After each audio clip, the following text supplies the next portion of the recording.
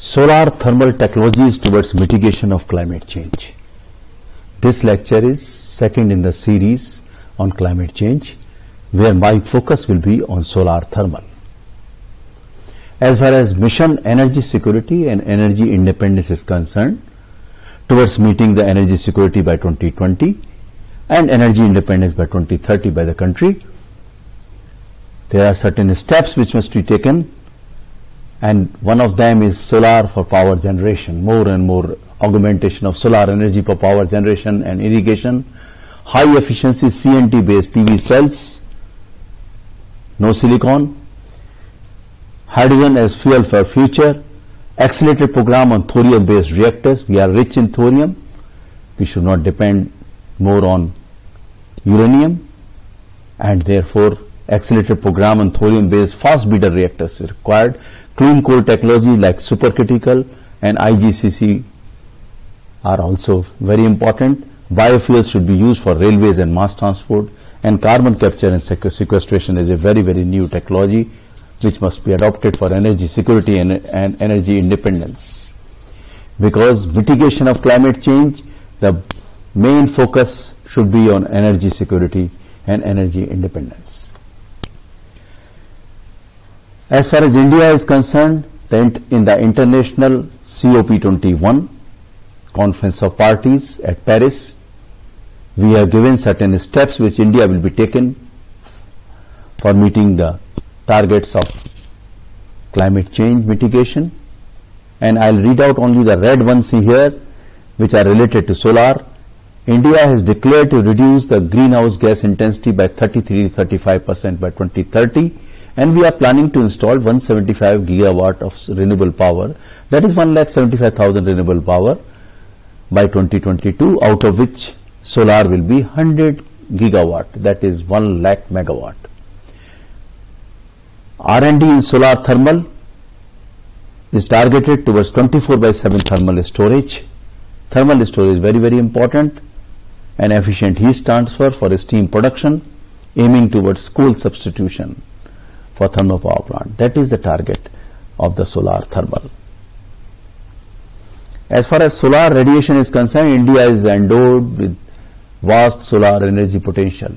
About 5000 trillion kilowatt hour per year energy is incident over India's land area with most parts receiving from 4 to 7 kilowatt hour or units per square meter per day. Hence both technology routes that is solar thermal and photovoltaic should be harnessed for providing huge scalability in solar in India. As far as solar thermal power generation is concerned, solar thermal has potential for the decentralized as well as grid connected applications and we refer mostly as CSP concentrating solar power. The technology options for COP CSP are parabolic troughs, central receivers or power towers, parabolic dish system or paraboloid dish system as we call it, linear Fresnel and a innovative CLCSP cross linear concentrating solar power. Coal substitution by steam generated by CSP is on the anvil in India's renewable energy sector, particularly in the R&D. If you look at the coal, uh, coal substitution, see by CSP you can save up to 8 to 10 percent coal if you use the steam produced by CSP for auxiliary steam, for feed heating the feed water and other applications, other low pressure applications in the power plant. Look at the our scenario of old power plants, our 50% of old capacity power plants, they are burning about 200 billion tons per annum of coal. If you save 10% of this by steam substitution or coal substitution, we will be saving more than 1000 crores per annum. Now look at the technologies. The parabolic trough technology, very simple, PTC we call it, parabolic trough collectors. They are north-south axis and they track east-west. The heat transfer fluid is heated up to 400 degrees centigrade And then the Rankine cycle works. the simple Rankine cycle works where the steam is pro uh, produced, runs the steam turbine, runs the generator and how the and power is produced in the same manner as in a conventional thermal power plant. Central receiver system on the other hand focuses sunlight to various mirrors which are known as heliostats. This can heat up to 600 degrees centigrade, steam can be produced at high temperature where there is a steam turbine and generator package which produces power. I have given an ex example here of a solar 2 plant at California which runs 24 hours although sunlight may be available from 5 to 8 hours per day for uh, heating but there is a thermal storage. And the thermal storage consists of molten salt. That's why the efficiency is little lower. Paraboloid disk system is another type of system where there are series of mirrors arranged in a concave plate focuses at the focal point where the either a Stirling engine could be there or turbine or a gas turbine we call it for Brayton cycle application. Linear Fresnel technology another technology which is used for integration with the existing coal-fired power plants. It can produce saturated steam from 150 to 350 degrees centigrade with less than 1 hectare per megawatt land use. That's the advantage. And it is suitable for integration with the combined cycle power plant also. Now it's a new concept. The linear Fresnel technology and the central system both can be hybridized. This hybridization gives a higher concentration efficiency and the system is known as CLCSP, cross linear concentration system. The sun tracking is there in this in this system and if you look at the various projects with the R&D projects many of the R&D projects in the country are working on solid pathway. There are three pathways as we know.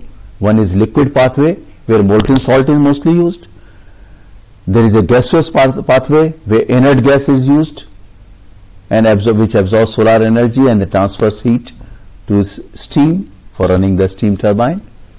But solid pathway has got one very distinct advantage that it can go to high temperatures.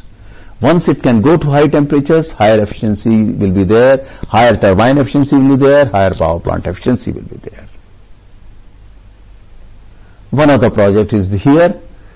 This is a 30 kilowatt CLCSP plant which was sanctioned by Ministry of New and Renewable Energy to RGPV Bhopal in 2014 and this project is in collaboration with Solar Flame Japan. Professor Tamura is uh, one of the designers of this particular plant from Tokyo Institute of Technology and high temperature steam is produced in this particular project. There is another project, 1 megawatt project at Mount Abu, co-funding from German ministry and also from an industry and project is the first of its kind to provide thermal storage of 16 hours and fully indigenously developed and this 1 megawatt pro project apart from generating power produces steam where the food is produced for Brahma Kumari ashram. Direct steam generation has got certain advantages. We all know that there is some uh, small environmental problems because of oil is not there because water is here. Higher steam temperatures can also be achieved. Lower investment is there.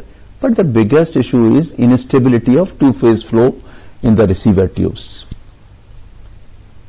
One such project is there at RKDF University and here we see the testing of solar thermal project at RKDF University in collaboration with RPI USA where our co-PI Dr. Partha S. Datta from RPI USA is focusing the Fresnel lens on the salt. This salt is very highly innovative salt. In this focal point heating, the temperature of 1400 degrees centigrade has been achieved. It has a high thermal storage density of the order of 300 kilowatt hour per meter cube. If you do the back calculation, you will find that a temperature of more than 565 degrees centigrade is required to have a thermal energy density of 300 kilowatt hour per meter cube or 140 watt hour per kg from this salt. Normally a question is asked, what is this salt actually? How it is different from a normal sodium chloride salt? And here it gives the composition of that particular salt, NaCl, Fe2O3 composite with iron oxide 1% mole, with silica 0.5% mole and all that and it's a, it's a very tedious process of manufacture but it has got very very important uh, properties. If you look at the cooling profile from 700 degrees centigrade to 100 degrees centigrade it takes 8000 minutes with insulation. 8000 minutes means 5 days, more than 5 days. So, it's a highly innovative salt and after the success of this particular pilot project at RKDF University, we thought let's go ahead with a large scale plant in which large area optical quality Fresnel lens will be used and they will be manufactured at very low cost. There will be indigenous production of this salt or storage material. Corrosion resistant non-coating product will be developed. Ultra low cost solar trackers will be used. Energy efficient, low maintenance cost thermal transport system will be there to produce steam and selection of power generation options like turbine, thermophotovoltaics or thermoelectrics. All these options are open. Low cost for low cost trackers, we have worked with the small scale industrial vendors and given our designs. Trackers can be uh, produced at a very low cost. Low cost polymer, lenses. The process of making polymer lens has been developed and they will be also be produced. So with this, I thank you very much and I'll, we look forward for the next series in which we will be focusing on solar photovoltaics. Thank you very much.